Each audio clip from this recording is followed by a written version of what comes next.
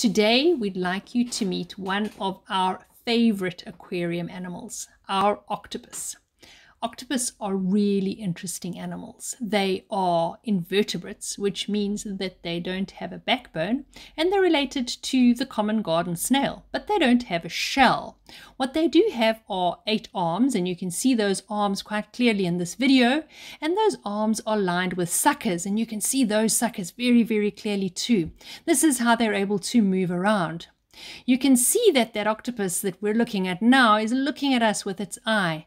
Actually, it has pretty good eyesight and it can actually see things very, very clearly. You can see that it's breathing, and that's that rhythmic motion, and it's breathing using water which is washing over its gills. So, say hi to our octopus.